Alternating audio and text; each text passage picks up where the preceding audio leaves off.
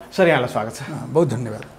पछिल्लो समय यो नक्कली भुटानी शरणार्थीहरूको काण्ड हुँदाहुँदा पूर्व गृहमन्त्री बालकृष्ण खाँड र उनका निजी सहयोगी नरेन्द्र केसी समेत प्रहरीको हिरासतमा परिसकेको अवस्था र पूर्व प्रधानमन्त्री तथा नेपाली काङ्ग्रेसका सभापति शेरबहादुर देउबाको श्रीमती आर्जु राणाको समेत भागमा दुई करोडको बिलो लागेको र बालकृष्ण खाँडकी श्रीमतीको भागमा साढे आठ करोडको बिलोको अडियो समेत प्रहरीबाटै सार्वजनिक भएको अवस्था। यी समग्र काण्डमा पूर्व गृह मन्त्रीदेखि लिएर उप प्रधानमन्त्रीदेखि लिएर गृह सचिव जो उपराष्ट्रपति कार्यालयको सचिव भएर समेत बसेका व्यक्तिहरू र उच्च राजनीतिक तथा प्रशासनिक अधिकारीहरूको यो वृहत संलग्नता अहिलेसम्म प्रहरीले बाह्रजनालाई गिरफ्तार गरिसकेको अवस्था। अब यसलाई सम् सम्पूर्ण रूपमा विश्लेषण गर्दै तपाईँले त्यो इतिहासमा लामो कालखण्ड चाहिँ राजनीतिक गतिविधि गरेर आउनुभएको। हिजो नेपाली काङ्ग्रेसको चाहिँ प्रतिबन्धको शिकार होस् या पञ्चायती व्यवस्थाको चाहिँ नै विरुद्धको आन्दोलन हुँदै आज गणतन्त्रको यात्रासम्म तपाईँ सक्रिय राजनीतिमा हुनुहुन्छ। उप प्रधानमन्त्री समेत भएर काम गर्नुभएको व्यक्तित्व।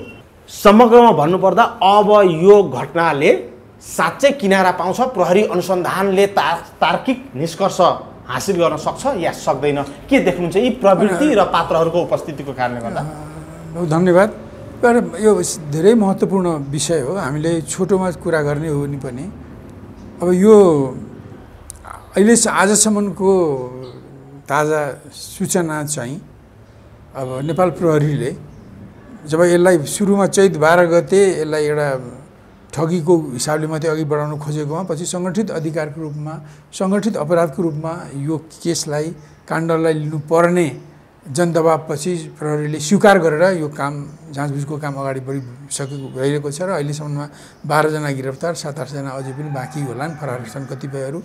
र अहिलेसम्म यसलाई दुई भाग गरेर एउटा पैसाको लेनदेनमा स्पष्ट त इन संलग्न भएका व्यक्तिहरूको विरुद्धमा प्रहरीले अदालतमा मुद्दा हाल्ने भ्रष्टाचारको केसमा र अरू नीतिगत निर्णय होइन यो यी काम यस्तो नेपाली नागरिकलाई भुटानी बनाएर अमेरिका लगायत अरू मुलुकमा पठाउने यो जुन काण्ड छ यो काण्डलाई स मा सघाउ पुग्ने गरी एउटा कार्यदल बन्यो र त्यसले गरेका निर्णयहरू कति वैध कति अवैध हुन् कति उचित कति अनुचित हुन् र यो सम्बन्धित सचिव लगायत अरू मन्त्रालयका जिम्मेवार कर्ताहरूले अख्तियारको दुरुपयोग गरे कि गरेन?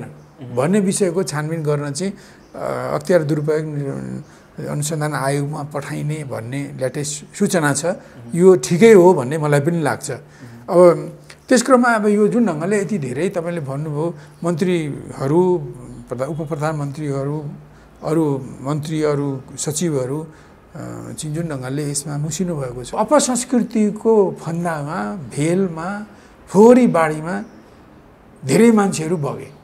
र कतिपय बग्दैन होला यसमा त केही इन्टिग्रिटी होला होइन यसमा त केही इमान होला भन्ने मान्छेहरू पनि बगेको देखियो होइन।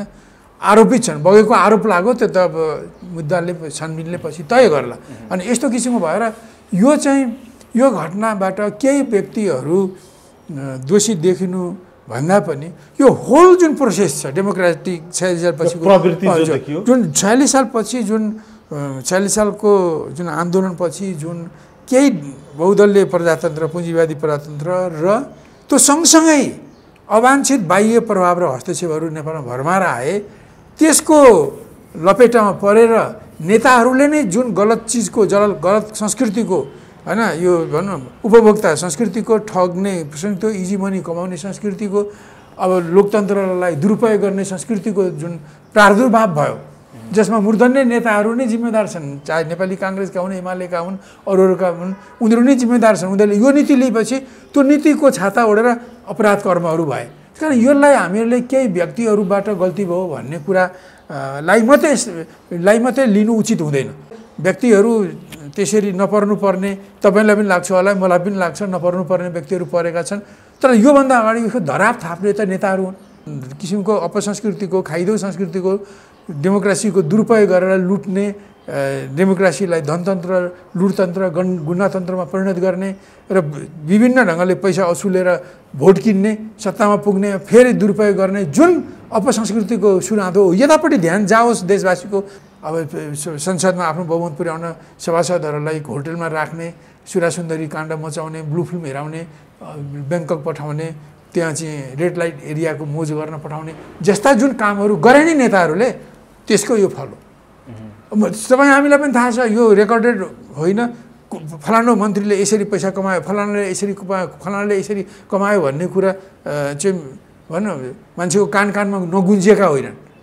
तर अहिले त्यसले गर्दा मान्छेहरू अब यो त अब यो त सार्वजनिक भयो यो वैध भयो अब जति गरे पनि हुनेछ जे गरे पनि हुने रहेछ अब यो हामी कानुनको हातले हामीलाई समाउँदैन भन्ने तहसम्म चाहिँ दुसाहसिक ढङ्गले सोच्नेहरू यो गल्तीमा फँसेका छन्। प्रवृत्तिलाई रोक लगाउनलाई अलिकति केही न केही सङ्केत चाहिँ। हो यो घटना। यो। कति साँच्चै नै दोषी हुन् कति होइनन् त्यो त समय क्रममा थाहा होला। अख्तियार दुरुपयोग भयो कि भएन त्यो समिति बनाएर त्यो पनि त्यहाँ छान्नु होला। तर एउटा कुरा किन यसबाट म तपाईँलाई के भन्न चाहन्छु देशवासीलाई के भन्न चाहन्छु भने यी केही व्यक्तिहरू केही लेनदेनमा गलत गल्ती गरे भनेर फस्नु या पत्तो लाग्नु केही नीतिगत निर्णय ठिक या बेठिक भयो भनेर फस्नु भन्दा यो ठुलो कुरा के हो भने हामीले डेमोक्रेसी कसरी यसलाई धनतन्त्र लुटतन्त्र गुन्डातन्त्र फाइदामुखी स्वेच्छाचारी तन्त्रमा परिणत गऱ्यौँ र त्यति मात्रै होइन यो त जनताको पैसा ठगियो। यो त देशै बिक्री भएको छ। जो जो मान्छेहरूले नेतृत्वमा आए उनीहरूको कारणले गर्दा नेपालको राष्ट्रियतामा प्रतिगमन भएको छ। नेपालको नेपाली जनताको जनजीवनमा प्रतिगमन भएको छ। नेपाली जनताको अधिकारमा कर- प्रतिगमन भएको छ। अहिले आएर बहत्तर सालमा संविधान आएपछि जुन संविधान आयो त्यसको सिस्टमलाई लागू गर्ने क्रममा अनि आज ती नेताहरू जसले चाहिँ भनौँ न यो परिवर्तन ल्याए तिनीहरू चाहिँ आफ्नो आफूबाट भएका गल्तीलाई ढाकछाउ गर्न आफूले गरेको राष्ट्रियतामा गरेको प्रतिगमन आफूले जनजीविका र जनअधिकारमा गरेको प्रतिगमनलाई राख ढाकछाउ गर्न। जनता जो तिमीले ठिक गरेनौ त्यसले राम्रो डेलिभरी दिएन यसले देशलाई गलत बाटोमा लगाऊ देशको स्वतन्त्रता सार्वभौमता अपहरण हुन लाग्यो देश सिक्किमीकरण को लक्ष्य बनाएर अहिले फिजीकरण हुँदै भुट- भुटानीकरण हुँदै जाने स्थिति आयो अर्थतन्त्र डामाडोल भयो गडतिरमा पुगिसक्यो देश फेल हुने स्थिति आइसक्यो। नेताहरू जनताका यी आवाजलाई उनीहरू प्रतिगामी भन्दैछन्। वास्तवमा म देशवासीलाई भन्छु यी नेताहरूले चाहिँ प्रतिगमन गरेका छन्। राष्ट्रियतामा भनौँ एउटा उदाहरण छयालिस सालमा हाम्रो राष्ट्रको सात सिमानाको जुन स्थिति थियो हाम्रो कालापानी क्षेत्र विवादिस्पद थियो। भारतको नक्सामा पनि थिएन हाम्रो नक्सामा पनि थिएन। हाम्रो नक्सामा चाहिँ किन अहिले त्यो छोडिदिनु रहेछ त्यो थिएन। तर त्यो गएर अहिले आएर दुई हजार छयत्तर सालको कार्तिकमा आइपुग्दा त्यो विवादमा रहेको नेपाली भूमिलाई भारतले आफ्नो आठौँ संस्करणको नक्सामा नेपाली भारतीय भूभागभित्र पारो हाम्रो नक्सा भनेर हाम्रो जमिन भनेर दाबी गरिरहेको छ। यदि त्यो हिजोको जुन कालापानी सम्बन्धी विवाद र अरू बहत्तर ठाउँमा भएको अतिक्रमण जुन छ ती कुराहरू टुङ्गिएर नेपालको वैधानिक भूमिहरू नेपालका को भूमि चाहिँ नेपालको भागमा आउँथ्यो भने त्यो प्रगति हुन्थ्यो अग्रगमन हुन्थ्यो। त्यो केही हल नभएको भए यथास्थिति हुन्थ्यो। तर त्यो विवादबाट हामी के भयो? हाम्रो भूमि भारतको भयो। भारतले दाबी गर्यो चार सय बाह्र किलोमिटर काला पानी क्षेत्र बहत्तर ठाउँमा त्यस्तै छ। सुस्ताको त्यही हालत छ। दिनै पछि चाहिँ सात सिमाना स्तम्भहरू भत्काउने यता हाम्रो नेपाली जनतालाई कुटपिट गर्ने जनताको खेतबारी छोड्ने का यसो राष्ट्रियतामा यसरी प्रतिगमन भयो। राजाहरूले आफ्नो गद्दी जोगाउनको लागि इन्डियाको आशीर्वाद लिनको लागि आँखा चिम्ली दिए अब हामी किन यो टेन्सन बोक्ने? राजाले गरेकै प्रवृत्तिको निरन्तरता भन्दै यिनीहरू पनि यहाँसम्म आए। आज झुट कुरा हो। तपाईँले आज कसले काला मान्छे- राजाले के गरेको थियो राजाले किन त्यो कालापानी क्षेत्र अनि एउटा कुरा के हो भने त्यो त्यो कालापानी क्षेत्रमा जुन ढङ्गले भयो नेपालका कर्मचारीहरू जुन उच्च स्तरीय कर्मचारीको के सहमति भयो उनीहरूले त्यो कालापानी क्षेत्र भनेर विवाहस्थल भनेर सम- नक्सामा राखेर त्यो गलत हो। तर राजाकै समयमा पनि त अठार सालमा भएको जनगणना त नेपालमै छ।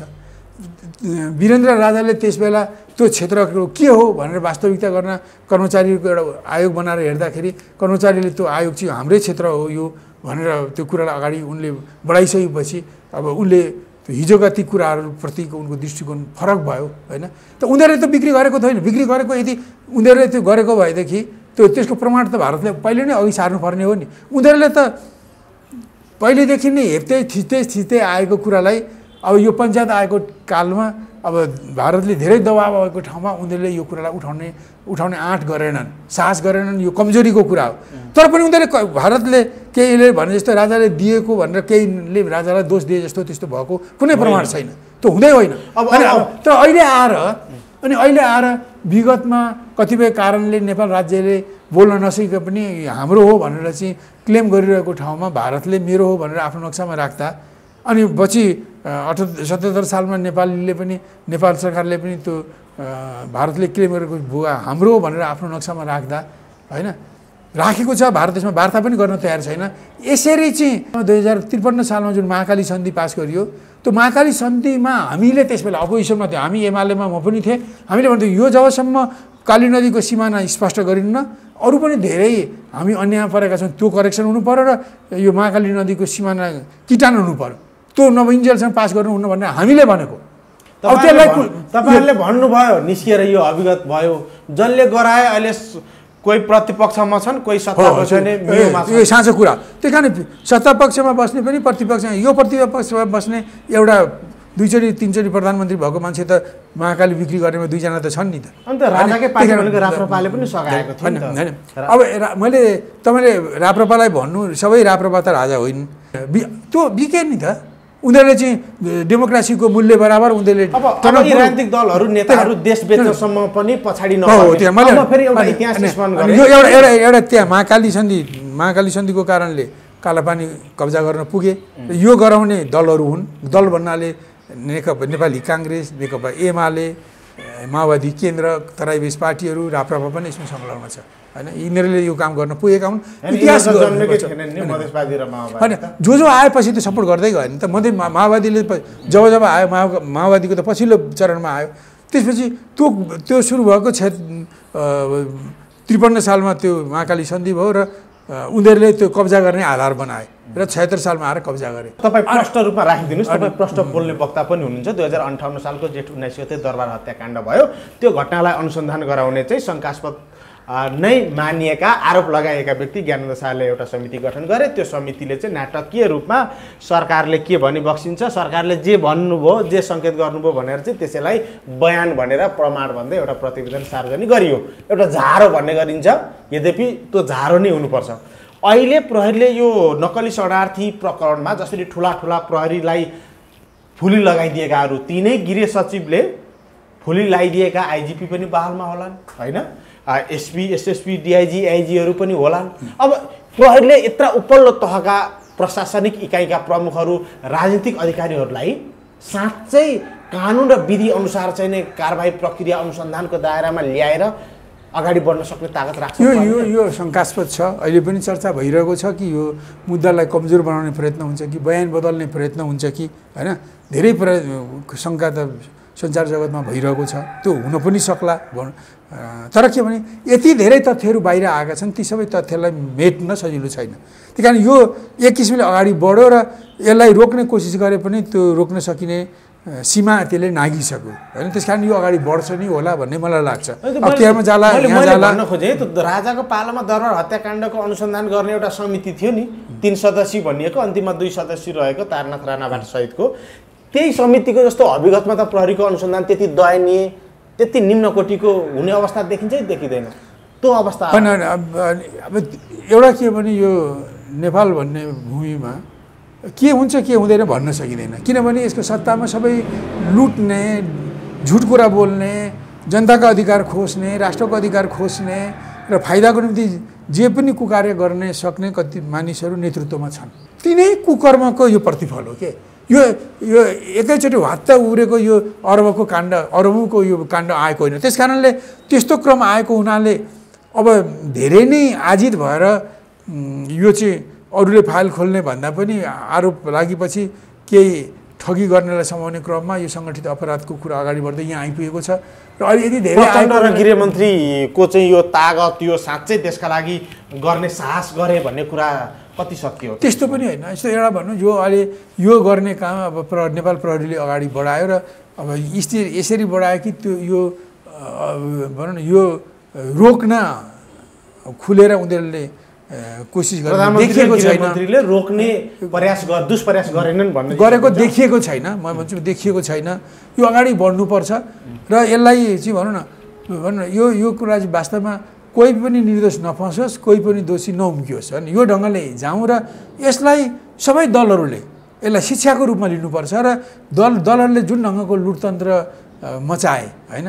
यो छयालिस सालदेखि यता आयो र जुन कल्चर र यो यही लुटतन्त्र खाइदो कल्चर हो अर्कालाई इजी मनी मनी कमाउने अर्का नियम कानुनलाई मिचेर पनि आफ्नो फाइदा लिने जुन प्रवृत्ति आयो यो प्रवृत्तिको विरुद्धको एउटा प्रश्न हो। एउटा अवरोध हो। राणालाई अनुसन्धानको दायरामा ल्याउन सक्छ प्रहरीले। ल्याउनु पर्छ। सरकारमा रहेर प्रतिपक्षमा रहेर संसदमा रहेर काम गर्नुभएको मान्छे संवैधानिक परिषद जो छ यसमा त अब प्रतिपक्ष र सरकारी पक्षकै अधिकारीहरू पनि हुन्छन् होइन? यसले पनि अब कति काम गर्नुपर्ने होला प्रतिपक्षको पनि सहयोग लिनुपर्ने। यसै प्रसङ्ग अन्तर्गत टोबहादुर रायमाझी फरार छन्। फरारको फरारै रहन सफल भएको अवस्था। टोबहादुर रायमाझी फरार भएको केही समय पछाडि मात्रै उनको चाहिँ सातो बाटो स्थित घरमा प्रहरीले निकै ढिलो गरी छापा मारेको अवस्था पनि देखिन्छ। यो अलिकति शङ्काको अवस्था होइन। यो सानो कुरामा जानुभन्दा पनि टोबहादुरले अर्घाँचीमा हुँदै म चाहिँ अनुसन्धानमा सहयोग गर्छु। म आउँछु म बयान दिन्छु।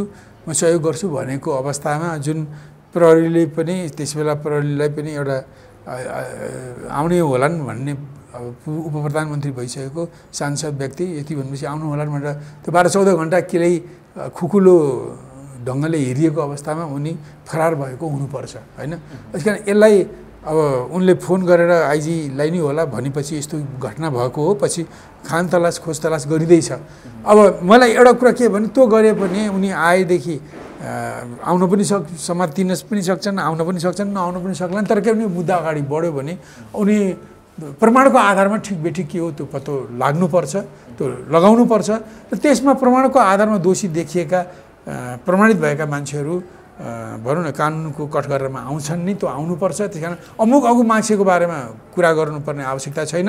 जुन ढङ्गले अनुसन्धान अमुक त्यही ढङ्गले अगाडि विषयमा यो अन्तर्राष्ट्रिय रूपमा चर्चामा आइसकेको विषयमा जोडिएका पात्रहरू मैले जोड्न चाहेँ आर्जु राणालाई दुई करोड रुपियाँ दिएको जुन कुरा आएको छ त्यो दुई करोड रुपियाँ दिएको कुरा प्रहरीबाटै सार्वजनिक भएको तिनै गिरोहका सदस्य जो गिरफ्तारमा परेका थिए उनीहरूले नि सार्वजनिक गरेको विषय भएको हुनाले त्यो पैसा त कहाँ गयो कसरी खर्च भयो भन्ने अनुसन्धानका लागि त शेरबहादुर देउवालाई आर्जु राणालाई एउटा सम्पूर्ण सम्भावित प्रमाण नष्ट हुन सक्ने सम्भावना बोकेका व्यक्तिहरूलाई त अनुसन्धानको दायरामा ल्याउनु यो त यो त। अनुसन्धान त होला नि। अनुसन्धानको नाम लिएर जो आरोपित छन् उनीहरूको उनीहरूको विषयमा अनुसन्धान हुनुपर्छ।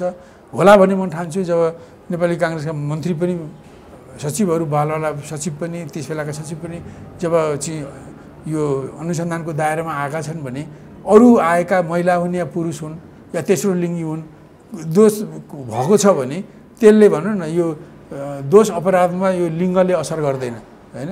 महिला होस् या पुरुष हो या यो जवाफ आइसकेको छ सदनमै। मैले जसले जवाफ दिनुभएको छ उहाँ उहाँलाई मैले सपोर्ट गर्छु। धन्यवाद छ डाक्टर त्यो कार्कीलाई होइन उहाँले नि प्रष्टकरण कष्ट गर्नुभएको होला। त्यस कारण सबैको छानबिन होस् कुनै लैङ्गिक भेदभाव नगरिकन ठुलो सानोको भेदभाव नगरिकन कानुनी सीमाभित्र रहेर यसको जाँचबुझ होस् र दुधको दुध पानीको पानी छुट्याइयोस्। मैले लास्टमा भने दोषी नउम्क्युन् निर्दोष नपरोस्। र यो देश सबैको निम्ति एउटा ठुलो शिक्षा भनोस् र विगत छयालिस सालदेखि डेमोक्रेसीको जुन दुरुपयोग भयो त्यसबाट दलहरूले बाज आउनु फर्कुन् र ती बाहेक अरू हजारौँ जुन कुकर्महरू भएका छन् त्यसलाई सच्याउने गरी अगाडि बढ्यो भने फेरि दलहरूको रिभाइभलको अवस्था होला। नत्र उनीहरूको पनि कि बढ्ने कि सिद्धिने एउटा अवस्था आउँछ। र तपाईँले यो जुन केसलाई यो नेपाली नागरिकलाई भुटानी शरणार्थी बनाएर चाहिँ विदेशमा लैजानको निम्ति जुन पैसा कलेक्सन गर्ने अरबौँको पैसा कलेक्सन गर्ने र त्यसलाई आफ्नो स्वार्थमा दुरुपयोग गर्ने जुन भ्रष्टाचार काण्ड देखियो त यो भ्रष्ट- भ्रष्टाचार काण्ड को सबभन्दा ठुलो सन्देश दललाई हो। कि दलहरूकै कुकर्मले गर्दा नेतृत्वकै गलत कल्चरले गर्दा आज कतिपय भनौँ न सामान्य मान्छेहरू अथवा कतिपय दलका महत्त्वपूर्ण मान्छेहरू पनि यो कुकर्म यो दोष गर्न पुगे उनीहरू आरोपित भएका छन् र उनीहरूको सही छानबिन भएर होस् र यो दलहरूले यो घटना जुन विस्फोट भयो भ्रष्टाचार काण्ड जुन विस्फोट भयो यसबाट दलहरूले शिक्षा लिउन् र आफूलाई सुधार